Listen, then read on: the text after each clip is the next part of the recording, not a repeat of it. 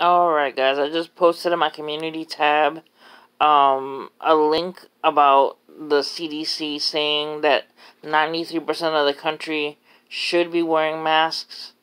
Um, that's a guidance, that's not a mandate.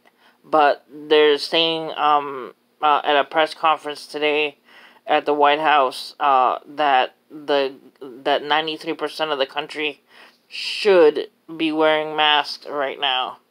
Um, that's just craziness. Um, also, um, a hypersonic missile test was canceled uh, in Florida. Um, I have all this stuff in the community tab. If you guys want to check it out. Hurricane Lee is slowly increasing in strength uh, out in the Caribbean. Um, it is slowly heading above Puerto Rico and Dominican Republic, so it should miss the island but I'm just keeping an eye on that as well.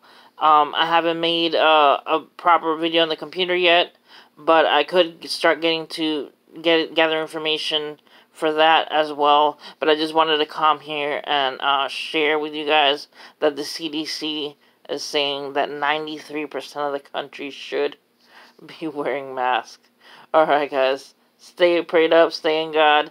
Jesus is coming soon. See you guys next time. God bless.